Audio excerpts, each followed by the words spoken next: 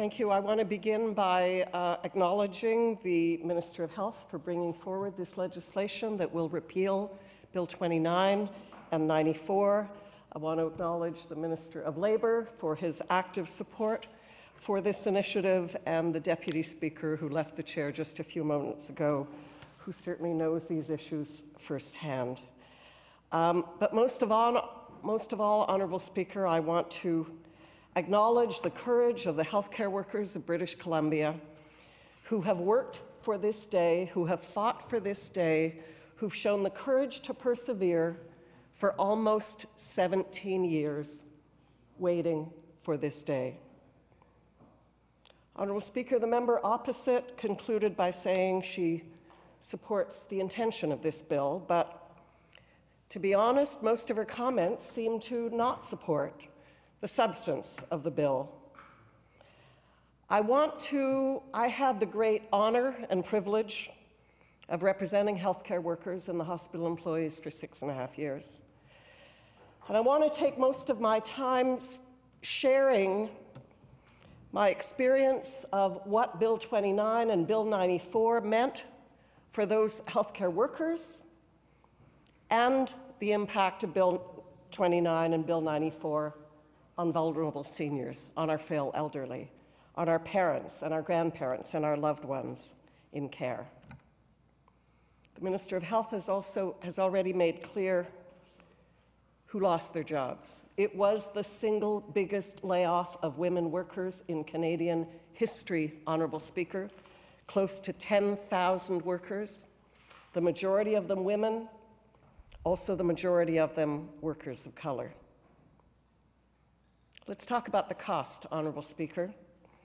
The government was intent, the Gordon Campbell government was intent on privatizing healthcare and intent on provoking, frankly, a race to the bottom when it affect, where it affects the wages and the working conditions of people who provide care, but also, frankly, a race to the bottom in the provision of seniors' care in the province of British Columbia. And if we want to talk about the cost of that, Honourable Speaker, these workers, nine or 10,000 workers who were laid off,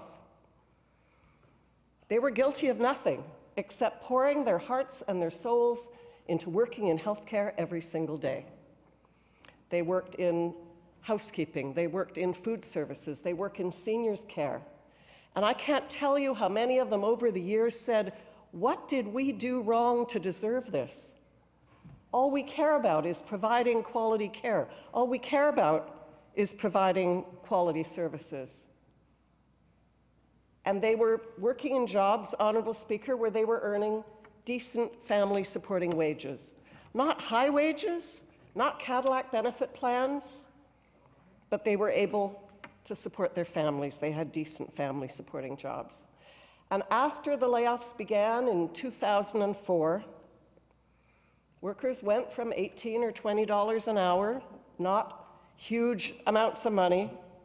And initially, when contractors were brought in, they were paying people $8 an hour, but they couldn't attract people at that wage, and they moved to $10 an hour. And Honorable Speaker, those workers had to fight and fight and fight over many years to first get up to $13 an hour and then to the princely sum of $15 an hour. And there are people in my community, when I am out in the community or when I knock on doors to this day, people talk to me about what the experience was like for their families. This wasn't just one person in a family, often, sometimes it was the mother and the father. And some of my colleagues have told me that often the ch their children, son or daughter in law, also worked in healthcare. People lost their jobs. People had to declare bankruptcy. People suffered incredible financial crises, personal crises, psychological crises. And then many of them applied to get jobs with the contractors. And Honourable Speaker, they would then reorganize a, a right under the Constitution of Canada to join a union, to bargain collectively, and then often a whole lot of them would be fired.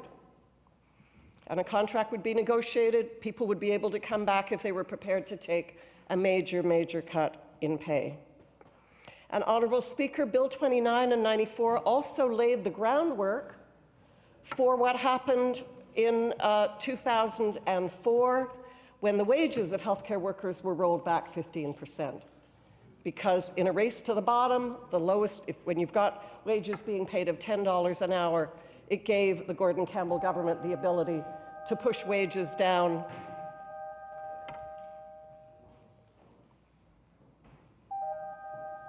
four bills.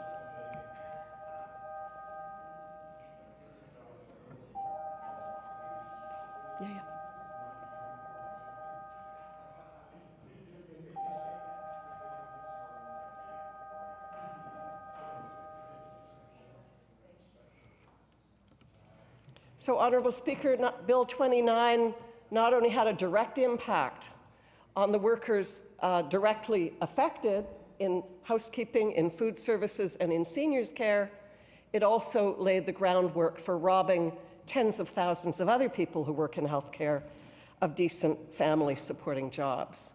So the member opposite talked about flexibility.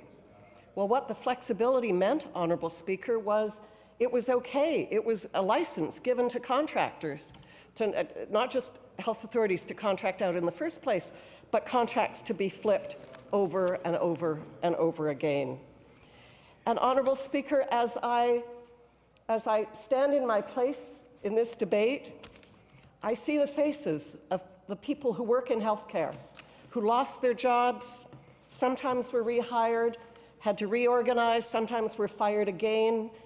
And I think of the incredible courage of people like Carlita and Harjit and so many other people who were involved in the campaign that took 16 full years to get these bills rescinded.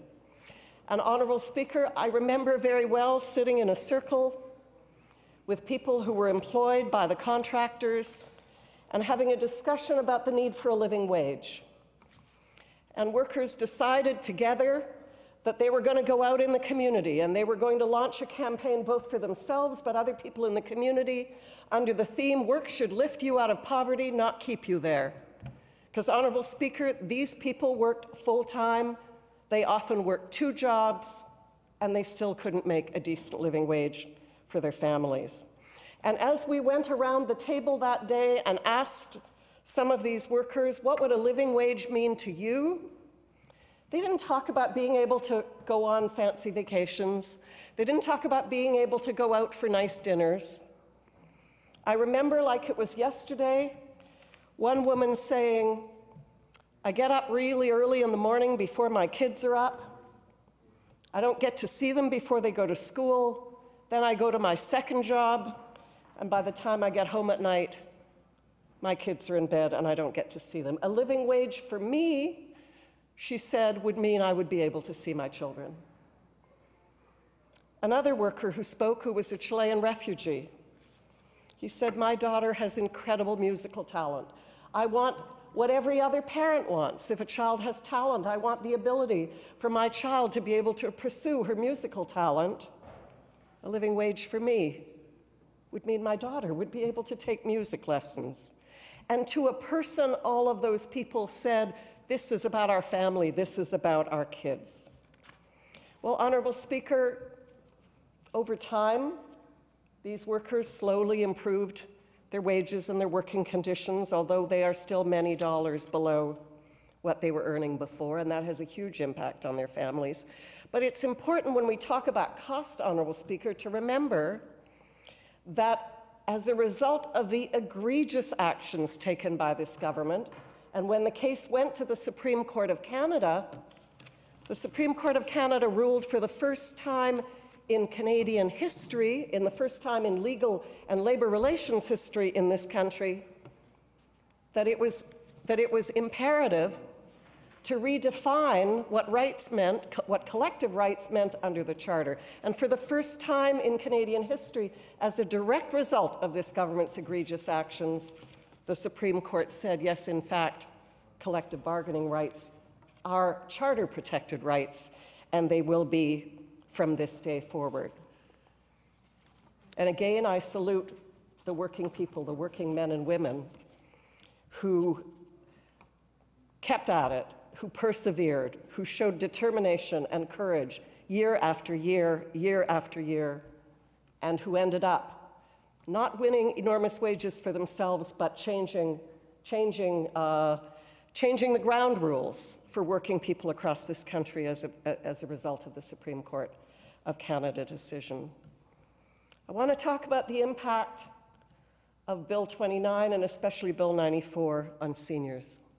But I want to start I want to start with a report from the ombudsperson in British Columbia, and this is a report that was issued as a result of what happened, not as a, not as a direct result of Bill 29 or 94, but the closure of a seniors' care home called Cowichan Lodge in Duncan that had resulted in massive dislocation of the workers. In that decision, in that report issued by the BC Ombudsperson, she said, and I quote, mass replacement of staff can occur when facility operators switch from contracting with one private service provider to another.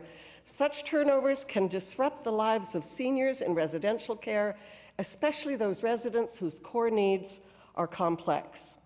Over time, long-term staff acquire specialized knowledge of these needs, so the simultaneous replacement of many employees can make it difficult for the seniors because continuity of care is disrupted. This is particularly the case for residents with dementia. It can also be stressful for families since they often need to provide extra support to their relatives. Now, Honourable Speaker, that was the words of the Ombudsperson in 2008. But any of us who have family members in care, and I certainly, my father died in the 1990s, but he was in seniors' care. There are very few people in this house who don't either have parents or grandparents or know someone who's in seniors' care. And we know that the care staff who care for them, they deal with their most intimate care needs. They deal with feeding them, they deal with bathing them, they deal with toileting them, and they are also there to hold their hands and comfort them, sometimes in their loneliness, sometimes in fear at the end of their lives. And Honorable Speaker, what Bill 94 did, what the member opposite referred to as flexibility, flexibility, what it did to these seniors in care was tear away care providers from them and disrupt that close and intimate relationship that exists between people who are caring for seniors. And Honorable Speaker, in some places, that happened not just once, but twice, three times, four times, sometimes even five or six times in the same care home. Imagine what that would do to one of our loved ones when care is disrupted in that way over and over and over again. We've certainly seen that in places like uh, Nanaimo Seniors Village, where after Bill 29's passage, they attempted to negotiate a $10 an hour wage cut. Subsequently, there was contracting out, more contracting out over and over and over again. That contract was flipped four times, Honorable Speaker. Each time, the workers had to engage in a race to the bottom, saying, I'll work for $15 an hour. No, I'll work for 14. No, I'll work for 13. Sold to the lowest bidder. But not only that, the seniors in those care facilities had their care disrupted over and over and over again.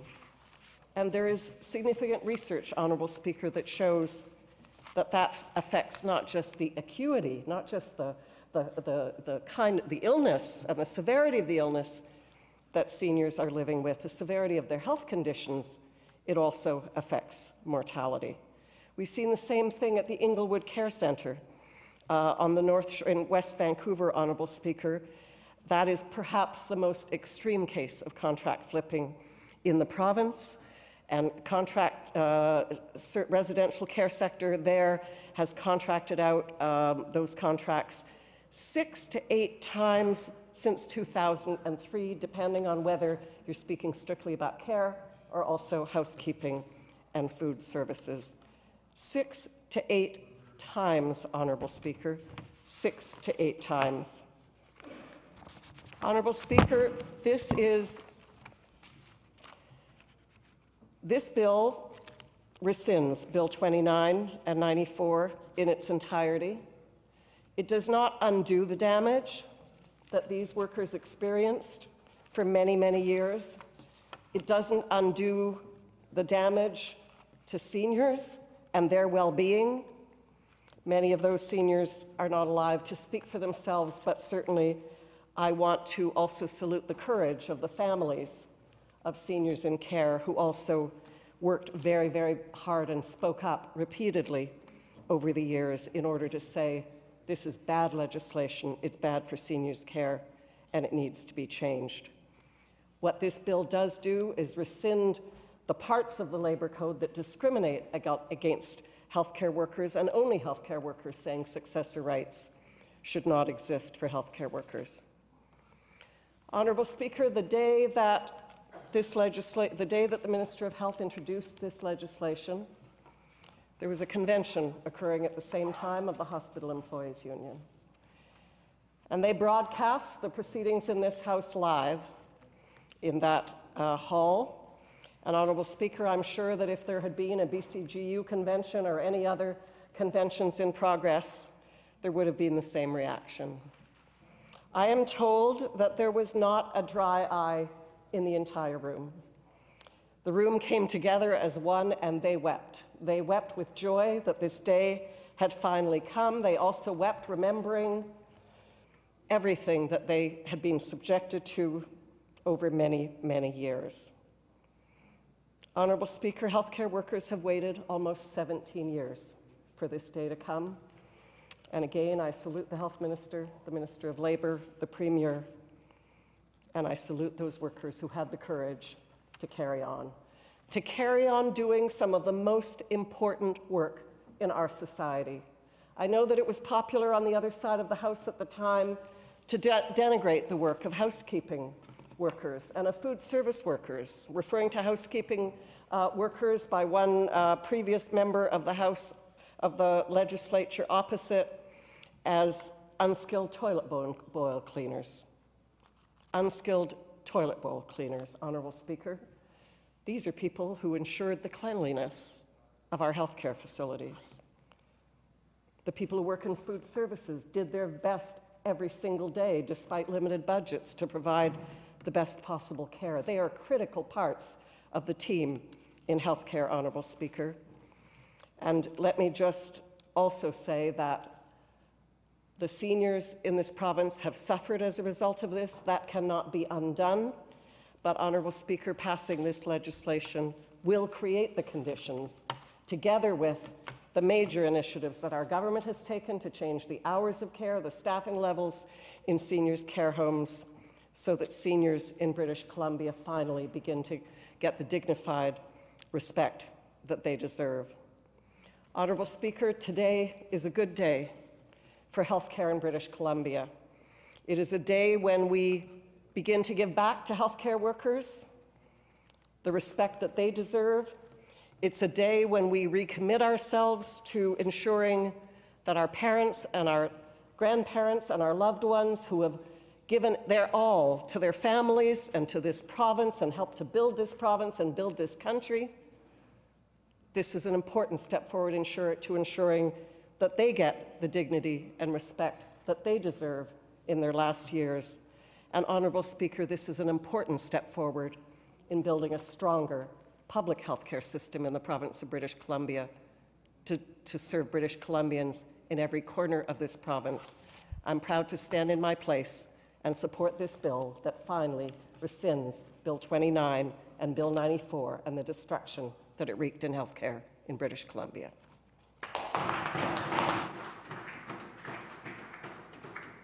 Thank you. Minister, recognize Minister of Citizen Services. Thank you, uh, Madam Speaker. It's uh, with great pleasure today that I rise to speak in support of this legislation.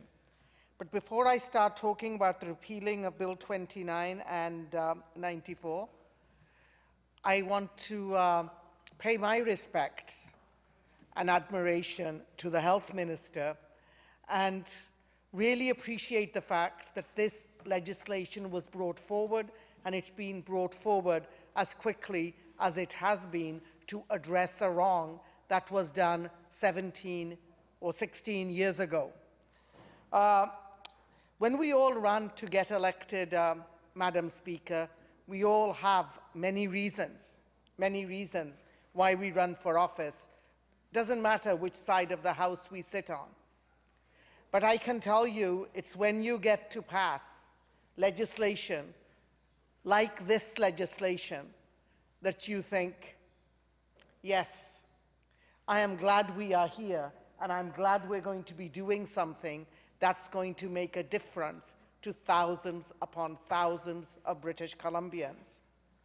In 2002, with a stroke of a pen and a legislation being proclaimed, 8,000 workers were fired through contracting out because of Bill 29, as my colleague from New Westminster said so eloquently.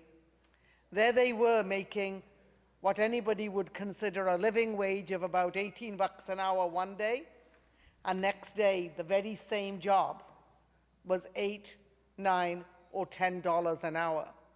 Imagine what that does to you as a worker when one day you're working for 18 and the next day you're expected to do exactly the same job for half your wage.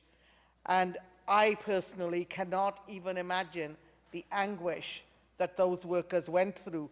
But not only that, what we've seen since then, of course, because the legislation enabled it, was even when those workers organized.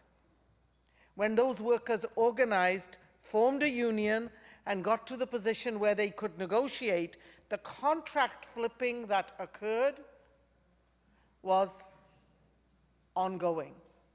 And it's because of that and many other reasons I have so much respect for the hospital uh, employees and for their uh, union. Because despite all of the challenges they faced, they didn't give up. They kept speaking up, they kept fighting for their rights. And every time they stood up, they were knocked back again when the contract was flipped and the workers rose again. And that takes a certain amount of courage, persistence. And that's the key thing I heard when I was uh, visiting the convention, just very, very briefly. Worker after worker who came up and said, we never thought this day would come. So to the Labour Minister, to the Health Minister, thank you for the work you've done on this. And to my colleague from New Westminster, who led that group of uh, valiant heroes during some of the most heartbreaking times, and I'm going to use the word heartbreaking times, for her courage at that time. And I know for her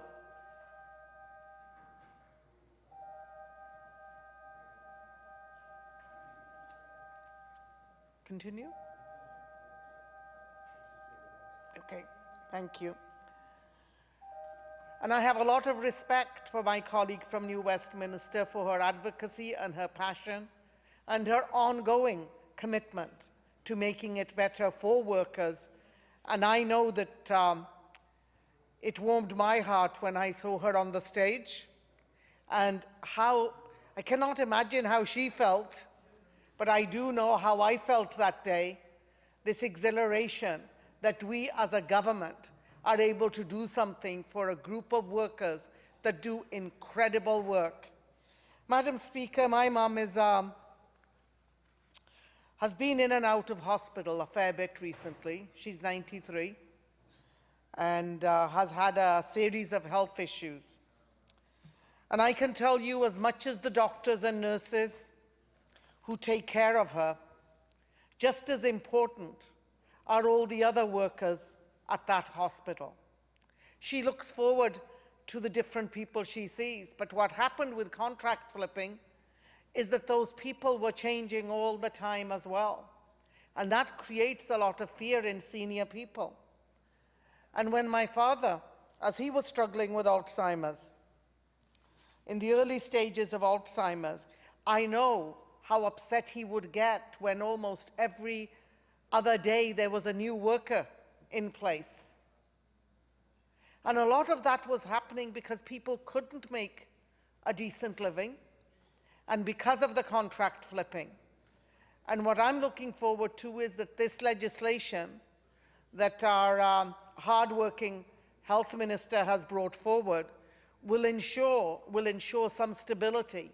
Not only is it going to be good for those who work in healthcare, in providing critical services in food and janitorial services and all of those, but it's going to be really good for those who are dependent on their services, whether they are in a hospital or whether they are in a care home or whether they are in a rehabilitation facility. All of that is critical. If any of you have ever visited Surrey Memorial Hospital, you know it's a happening place. The, uh, it's a very busy place. We have a, one hospital in a very large city, and uh, I want to take this opportunity to thank our health minister for opening an urgent uh, primary care unit there just last week. And uh, people from Surrey are looking forward to that because that's going to take a lot of the pressure off our emergency room and is going to provide much needed uh, urgent care services to those who live there. But when I'm at the hospital, as I go in to see my mum when I'm not here, what I see are staff who are incredibly hardworking, incredibly hardworking and committed to doing their job and their very best. But what they tell us over and over again as we are there as a family is what they have experienced over the last number of years. And I can tell you this last week when I was at the hospital and visiting, I received lots of hugs Lots of people said, when you get back, say thank you to Minister Dix. And so, sorry, Minister of Health. My apologies, Madam Speaker. So, uh, to the Minister of Health, lots of thank you from uh, a lot of the healthcare workers that I have come into contact with.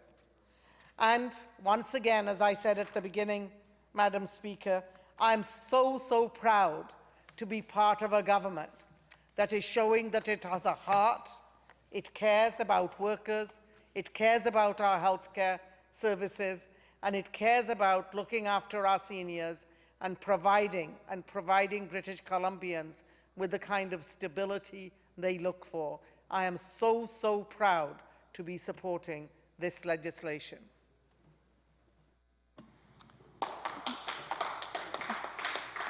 Thank you, Minister. Recognizing Minister of Labour. Thank you, Honourable Speaker. And, and it, is, uh, it is with honor that I stand here today uh, to, to support Bill 47. Uh, Mr. Spe uh, Madam Speaker, uh, I just uh, can't find words to say thank you to the Minister of Health. thank you to all those thousands of workers who never relent in their attempt to, to right the wrong and, and to find that the day will come that I will be part of, of, uh, uh, of the debate that I will engage in to finally, finally, in 13 years of me being elected in this House, that we will actually be voting, debating and voting on a bill that was illegal, that was declared illegal, Mr. Speaker, Madam Speaker. I just want to say the Bill 29 and 94, it represented abuse of power, represented denial of constitutional rights to the workers. It represented creating a second class workers. It represented disrespect towards the working people. And it, in fact, represent total contempt shown by that government towards the working people. With this Bill 47, we're changing all that. We are reversing all of that. What with this Bill 47 does, it says to all the working people of this province that this government respect workers, that this government value the works that they do, that this government obey the law of the land and the constitutional rights that the workers have in this province and this country, Madam Speaker, are being preserved once again. Madam Speaker, 8,000, 8,000 of those workers, most of them were immigrants and visible minorities, were fired with a stroke of a pen by then government over what? Over what, Madam Speaker? It wasn't about saving money. It was ideologically and politically driven decision. So that some of their friends, the internationals, can come in and make profit on the backs of our healthcare, on the backs of those workers, on the backs of those who need those services, Madam Speaker. That was wrong then, it was wrong now, and that's why this Bill 47 addresses those wrongs. Madam Speaker, I just want to say that not only that it profoundly affected negatively those thousands of workers and their families, it also impacted the services that they provided to our seniors. Those long term care facilities, the seniors, for many of them, the workers that provide them care and service, and many times those are the only family that they know. Those are the people that they have intimate relations developed over the years. And when you fire them over and over through contract flipping, what you are doing is you are basically telling those seniors, you're telling those seniors that they don't matter. That the bottom line is what driven their decisions. That was that government, Madam Speaker. But there's a new day, there's a new government, and we're saying every worker matters, those seniors matter, and that's what we're doing is restoring the rights for the working people in this province through this bill and restoring the services that those seniors deserve and need. Madam Speaker, I know the time is running out. The Mr. Of Health would like to, uh, to, I'm sure, finish this debate, but I just want to say how proud I am to participate in this debate. How proud those families and those workers are now, and all workers in this province Finally, they see that there's a government that actually care about working people in this province, that care their rights, they care about health and safety. Madam Speaker, this day, this province, in this house, I just can't say thank you enough to all those workers who never relent. They continue with their with advocacy, continued with their, with their struggle, they never gave up. That's what gave us the inspiration. That's what gave me the inspiration to continue to fight for what is right. Madam Speaker, that's what who we are. We should never forget. You know, decision that we make here today, we will be judged in 50, 40, 100 years down the road. And the decision that the previous government made 16 years ago clearly were wrong. You don't have to wait 50 years to make that decision. The Supreme Court of Canada said those decisions were illegal. It took 20 minutes to all those judges to take a look at it and say, government, you were wrong, that decision was illegal, go fix it. How could a government do that to its own citizens? It's hard to believe, but it happened. That's why who the government is matters. It matters in life of, of, of, of people of the province. That's why this government made a decision that people should come first and foremost when we are developing our policies. Not some selective groups, the people that only support us, that those are the only people we are going to support. Those who funded our campaigns. Madam Speaker, that's not how you run governments. We have seen in the federal government, we have seen in this House apologies for past government's mistakes. And this one will be in the history of this province. The wrongs committed by a government 16 years ago, and also it'll be in the history of this province that right was, the wrong was righted in this House by the current government. Madam Speaker, with that, I just want to take my space, and I know the minister is waiting to, to finish the debate. And I really, really feel so proud to be part of this debate. And I want to say thank you to thousands of those workers. And I want to say thank you to the, to the Minister of uh, Mental Health and Minister of, He- uh, Minister of Health for, for, for showing the leadership and, and taking this struggle and the fight so that we are at this stage to make the right decision. Thank you very much, Madam Speaker. Thank you, Minister. Seeing no further speakers, the Minister closes debate. Uh, Thank you very much, uh, Honorable Speaker. Thank you to uh, my colleagues on both sides of the House for participating in the debate. It's uh, an important moment for healthcare workers. I want to say just a, a couple of things briefly. I, I think that um, I'd say just a small correction uh, to what my colleague from Coquitlam Burke Mountain said. Uh, she said that the, I think she said the BC Liberals gave 500 million to seniors care. Of course, 285 million of that is from the federal government, so it didn't come from the government, and only 30 million was actually in the budget. I don't say that to be to, to have an exchange, but say this is what we have to do together now. The issue of whether um, we have enough care is something that all of us contribute to and have to contribute to, and it involves really hard decisions.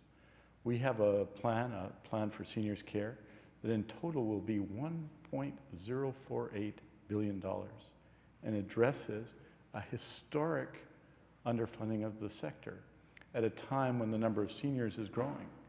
And my point is, and the point of this legislation is not that it solves every problem in seniors care, but it corrects a fundamental injustice and it brings us all together as part of the conversation.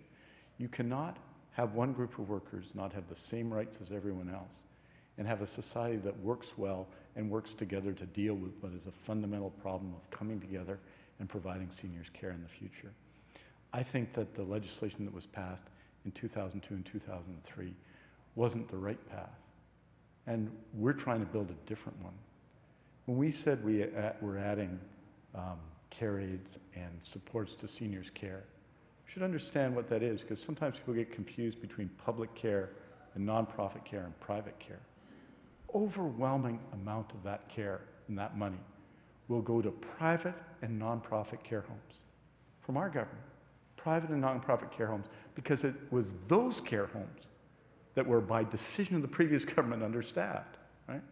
It was healthcare owned and operated ones that were at the 3.36 or close to it, and the others that weren't. My point is that we have to get past these old fights, but we can only do so by restoring justice to healthcare workers, justice in society, and so that we can all go forward together on all sides to build a better healthcare system. With that, I look forward to the questions from my colleagues at uh, committee stage, and I move second reading.